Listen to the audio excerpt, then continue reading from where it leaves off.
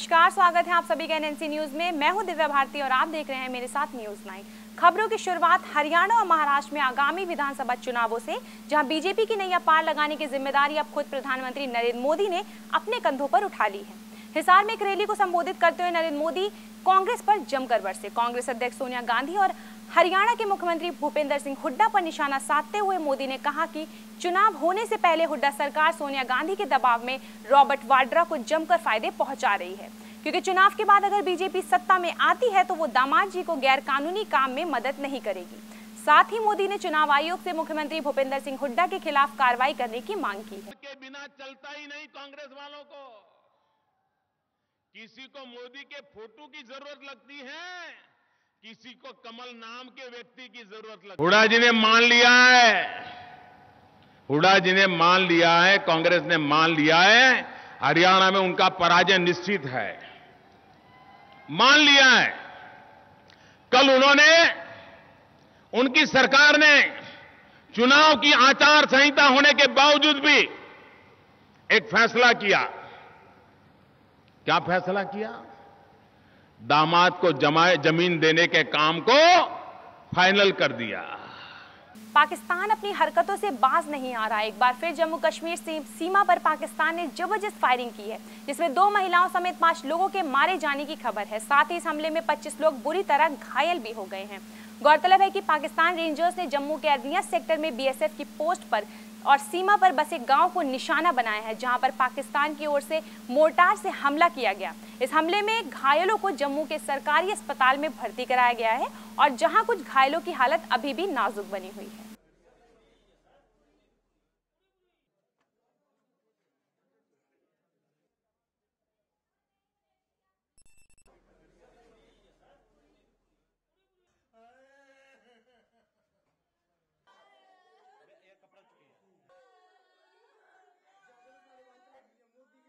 पाकिस्तान की तरफ़ से एक ही महीने में दसवीं बार संघर्ष विराम का उल्लंघन होने पर केंद्र सरकार ने अपना रुख कड़ा कर दिया है।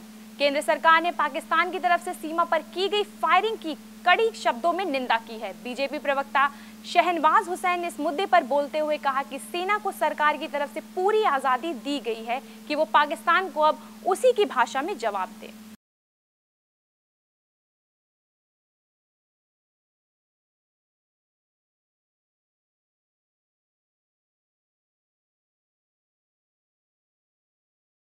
देखिए, पाकिस्तान जिस भाषा में समझता है, उस भाषा में भारत जवाब दे रहा है और उनको जवाब मिल रहा है। सवाल ये है कि अगर इस पाकिस्तान से भारत ने प्रयास किया दोस्ती का, अगर वो दोस्ती की भाषा समझने को तैयार नहीं है तो हमारी सेना सक्षम है जवाब देने में।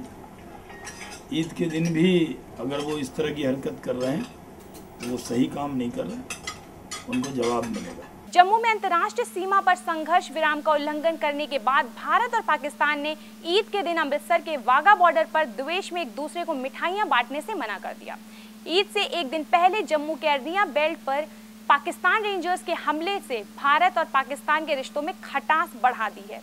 सूत्रों के अनुसार, पाकिस्तान रेंजर्स ने फ्लैग मीटिंग समारोह को रखने से भी मना कर दिया और साथ ही साथ बीएसएफ के वाघा बॉर्डर के गेट को भी बंद रखा। आपको बता दें कि BSF DIG M F Farooqui ने पाक अधिकारियों के साथ बैठक में इस मुद्दे को उठाने की बात कही है। बड़ा वो किया हुआ है कि नहीं हम लोग फोर्सेस मिल के काम करें। ठीक है एक मैसेज जाए हेलो हर एक ओकेजन के ऊपर जब भी कोई बड़ा ओकेजन होता है खुशी का अवसर होता है तो हम पाक रेंजर्स को अपनी तरफ़ से प्लेजेंट्रीज भेंट करते हैं। और उनकी तरफ़ से भी ये परंपरा रही है कि जब आ, कोई ईद का ओकेजन हो या उनकी तरफ़ से कोई ऐसा बड़ा ओकेजन हो जिसको वो सेलिब्रेट करते हैं तो उनकी तरफ़ से भी प्लेजेंट्रीज भेंट की जाती रही हैं बीएसएफ को। ये पहला अवसर है जब अमृतसर सेक्टर के अंदर उन्होंने आज इस प्लेजेंट्रीज को भेंट करने से इनकार किया है। देश भर में कुर्बानी का त्यौहार ज़बरदस्त उत्साह के साथ मनाया गया जिसे लेकर लाखों लोगों ने मस्जिद में बकरीद की नमाज़ अदा की। साथ ही लोगों ने गले मिलकर एक दूसरे को बधाइयाँ दी और शांति का संदेश दिया। आपको बता दें कि यह पर्व अल्लाह के लिए अल्लाह के लिए अपने चहेतों की कुर्बानी करने के उपलक्ष्य में मनाया जाता है। इस पर्व में मुस्लिम भाई अपने जानने वालों और रिश्तेदारों को घर पर दावत देते हैं और गले मिलकर बधाइयाँ भी देते हैं। खासकर बच्चे इस पर्व को लेकर काफ़ी उत्साह देखा जाता है।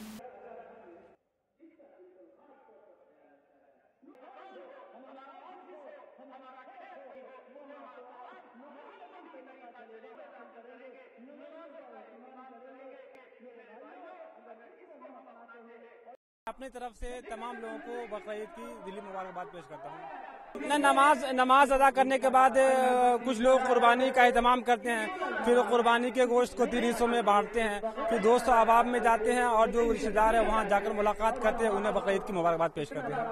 लोगों से ये अपील की जाएगी कि जो कि बार बार पाकिस्तान की तरफ़ से और चाइना की तरफ़ से हिंदुस्तान पर हमले किए जा रहे हैं और सीमा का उल्लंघन किया जा रहा है तो हम हम हिंदुस्तानियों की ज़िम्मेदारी है कि फौज के जो जवान हैं, उनके मनोबल को बढ़ाएँ और वो इस तरीके से बढ़ा सकते हैं कि जितने भी सिविलियंस हैं, वो कम से कम चाइना के प्रोडक्ट्स को बाइकआउट करने का तहैया और आज़म करें, जिससे कि चाइना की इकोनॉमी पर जब तक वार नहीं होगा, तब तक वो हिंदुस्तान को गलत निगाह से देखना बंद नहीं करेगा। मेघालय के नेशनल लिबरेशन आर्मी के दो संदिग्ध आतंकवादियों को असम ज़िले के सुरक्षा बलों ने एक मुठभेड़ में मार गिराया।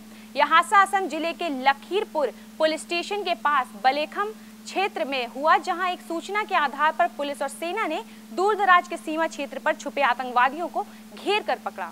आपको बता दें कि आतंकवादियों के पास से पिस्तौल गोले बरामद हुए और कैश भी साथ साथ पाया गया।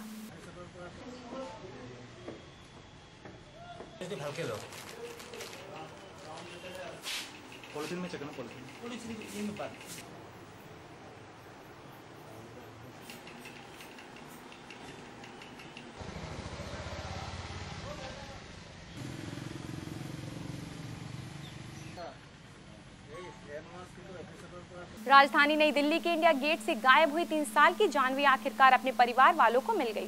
28 सितंबर से गायब जानवी जनकपुरी की मार्केट में एक शख्स को मिली, जिसके अनुसार जानवी के सिर से बाल उतरे हुए थे और उसके गले में उसके नाम और फ़ोन नंबर का बोर्ड लटका हुआ था। पुलिस को सूचित करते हुए शख्स ने जानवी को उसके माँ बाप के हवाले किया। गौरतलब है कि सोशल मीडिया से वायरल हुई जानवी के गायब होने की खबर ने हर जगह लोगों को आगाह किया, जिसकी मदद से जानवी मिल पाई। आपको बता दें कि पुलिस कमिश्नर बीएसएफ बस्सी ने जानवी के पचास हज़ार कैश इनाम के रूप में ऐलान किया था।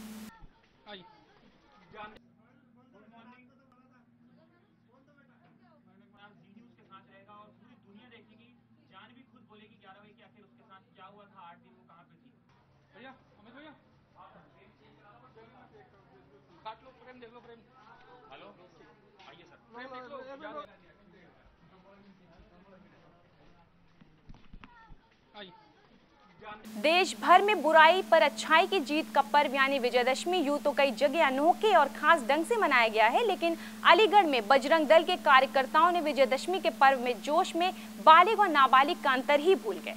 दरअसल कार्यकर्ताओं ने अचल ताल कार्यालय पर पूजा की की, जिसमें शस्त्र पूजन भी किया गया। पूजन के बाद कार्यकर्ताओं ने शस्त्र प्रदर्शन किया, लेकिन हद तो तब हो गई, जब इस प्रदर्शन के दौरान कार्यकर्ताओं ने नाबालिग के हाथ में पिस्टल थमा दी। ये सारा घटनाक्रम वरिष्ठ कार्यकर्ताओं के सामने किया गया, लेकिन सभी लोग मूक दर्शक बनकर देखते रहे और किसी ने भी इसे रोकने की कोशिश नहीं की।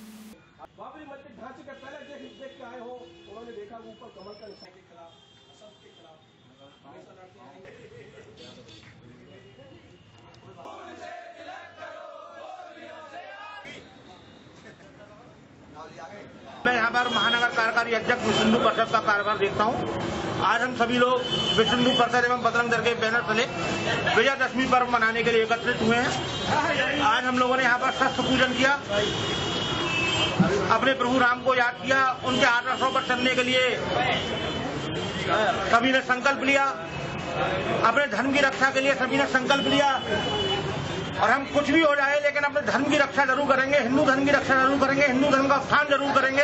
कासगंज जीआरपी पुलिस ने आज कासगंज जंक्शन पर अपनी चेकिंग के दौरान एक संदिग्ध व्यक्ति को गिरफ़्तार किया, जिसके पास से पुलिस ने चेकिंग के दौरान कुछ ऐसे बेहद चौंकाने वाले सामान बरामद किए हैं, जिसको पुलिस बिजनौर से फरार हुए आतंकवादियों से भी जोड़कर देख रही है। आपको बता दें कि ईद को लेकर कासगंज जीआरपी पुलिस ने कासगंज जंक्शन के स्टेशन परिसर में चेकिंग कर रही थी, तभी पुलिस के हत्थे एक ऐसा व्यक्ति चढ़ गया जिसके पास मौजूद बैग की पुलिस ने जब तलाशी ली तो उसके बैग से कई देशों के नक्शे 11 एटीएम कार्ड, एक कीमती टैबलेट, चार सिम कार्ड, छह बेरिंग फ्यूज के विस्फोटक में जो काम आते हैं उसके साथ ही चार पेन ड्राइव और अमृतसर के वाघा बॉर्डर के फ़ोटो सहित कई धार्मिक स्थलों के फ़ोटो बरामद किए गए।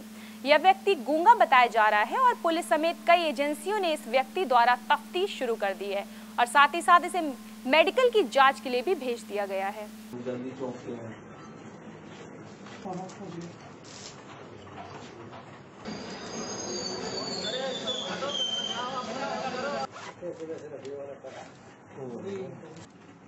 टेक्नोलॉजी, कराची। हापुड़ कोतवाली क्षेत्र की राजीव विहार कॉलोनी में पुलिस को लगभग तेरह वर्षीय एक अज्ञात किशोर का ईट से कुचला हुआ शव मिला। दरअसल ये पूरा मामला तब सामने आया जब सुबह लोगों ने इस खाली प्लॉट में एक शव को देखा। स्थानीय लोगों ने फ़ौरन इसकी जानकारी पुलिस को दी। मौके पर पहुँची पुलिस ने शव की काफ़ी देर तक शिनाख्त करने का प्रयास किया, लेकिन मृतक किशोर की शिनाख्त नहीं हो पाई।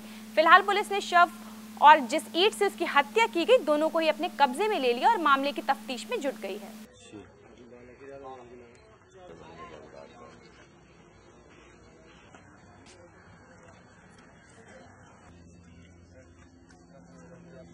वही सुबह इधर लोग जंगल करने के लिए आते हैं। तो जैसे ही यहाँ जंगल के लिए आए, देखा कि एक डेड बॉडी पड़ी हुई है, लगभग तेरह चौदह साल का ये बच्चा है।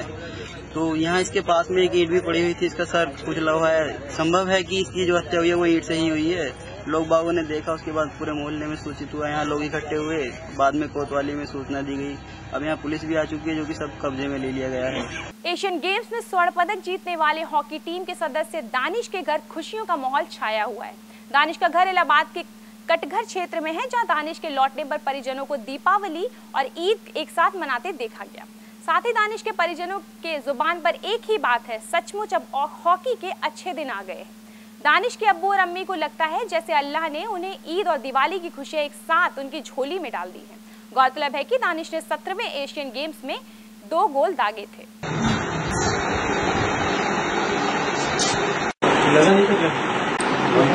बस कुछ नहीं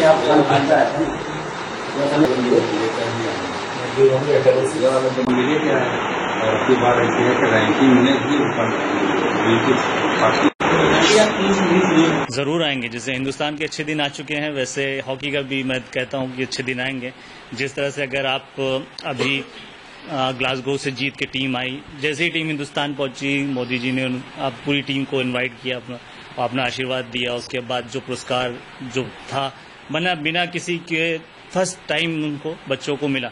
तो ये अगर आप देखें कि जिस तरह से गवर्नमेंट इनिशिएटिव ले रही है, जिस तरह से हर क्षेत्र में अपना काम दिखा रही है, उस तरह से बाकी गेम को भी उन्होंने बहुत ही गंभीरता और बहुत अच्छे तरीके से हैंडल किया। आज़ादी पूर्व राष्ट्रपिता महात्मा गांधी की प्रेरणा से बुनकरी कारोबार शुरू करने वाले बुनकर बदहाली में जी रहे हैं।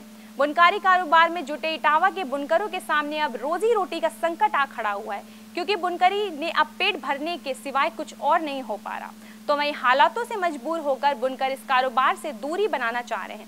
लेकिन परेशानी यह है कि सालों से जिस कारोबार में बुनकरों ने अपनी पूरी आयु लगाई है उस, उनको अब कोई दूसरा कारोबार आता नहीं। इटावा के एक ताज़ा अनुमान के मुताबिक करीबन पचास हज़ार के आसपास बुनकर हैं। गौरतलब है कि 1930 में इटावा में महात्मा गांधी का सूद प्रेम देखकर बुनकरों के मन में नया उत्साह पैदा हुआ और आज़ादी के वक्त तक इटावा में बुनकरी का कारोबार बहुत तेज़ी से बढ़ा। लेकिन अब इस महँगाई के दौरान में बुनकरी कारोबार कहीं पिछड़ा हुआ दिख रहा है।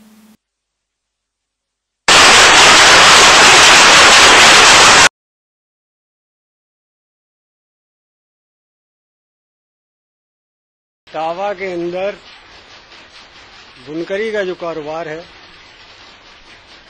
वो हम लोग तो गांधी जी के आदर्शों पे कर रहे हैं इसको। रहा इसमें कारोबार के हिसाब से जिस तरीके की आमदनी होना चाहिए उस तरीके की आमदनी नहीं है। बुन, बुनकर है हम लोग काम बिनते हाथ का काम बिनते पहले चरखा काटते थे तभी परेशान थे। और आज भी हम लोग परेशान ही हैं। जब मतलब बहुत महँगाई होगी, तब भी परेशान हम ही नहीं, सारे बुनकर परेशान है। फ़िलहाल इस बुलेटिन में इतना ही। बाकी देश विदेश की ताज़ा तरीन खबरों को देखने के लिए देखते रहिए न्यूज़ नाइन। मुझे दीजिए इजाज़त। नमस्कार।